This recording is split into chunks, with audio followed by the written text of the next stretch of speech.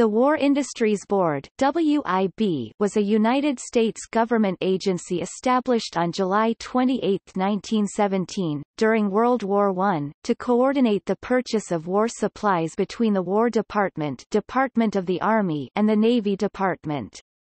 Because the United States Department of Defense the Pentagon would only come into existence in 1947, this was an ad hoc construction to promote cooperation between the Army and the Navy with regard to procurement. It was founded by the Council of National Defense which on its turn came into existence by the Appropriation Bill of August 1916. The War Industries Board was preceded by the General Munitions Board, which didn't have the authority it needed and was later strengthened and transformed into the WIB. The board was led initially by Frank A. Scott, who had previously been head of the General Munitions Board. He was replaced in November by Baltimore and Ohio Railroad President Daniel Willard. Finally, in January 1918, the board was reorganized under the leadership of financier Bernard M. Baruch. The organization encouraged companies to use mass production techniques to increase efficiency and urged them to eliminate waste by standardizing products. The board set production quotas and allocated raw materials.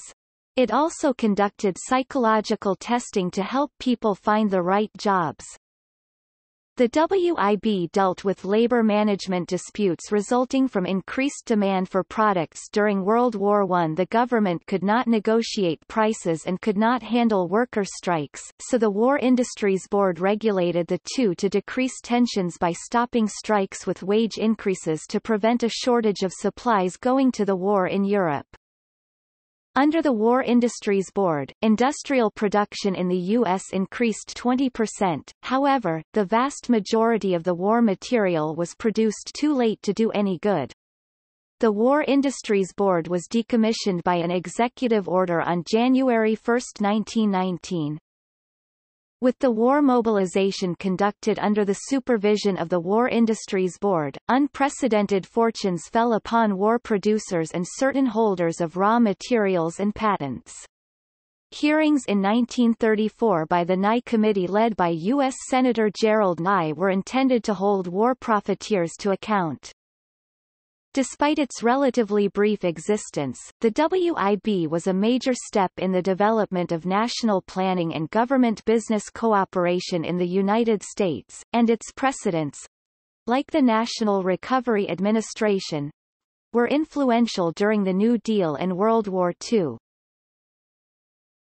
Topic members of the War Industries Board The original seven members of the War Industries Board were, Frank A. Scott, Chairman Bernard M. Baruch Robert S. Brookings, head of the Cupples Co., a distribution firm Robert S. Lovett, President of Union Pacific Railroad Hugh Frayne, of the American Federation of Labor and former President of the Pennsylvania AFL-CIO Army Brigadier General Palmer E. Pierce Admiral Frank F. Fletcherother Later members included, Alexander Alexander Legge, selected by President Woodrow Wilson as vice chairman after the reorganization in March 1918 Ali Josephine Prescott Baird Bennett Samuel P. Bush, Chief of Ordnance Small Arms, Ammunition Charles H. Connor, Private Investor, New York, New York Clarence Dillon, Partner in Dillon, Read & Co.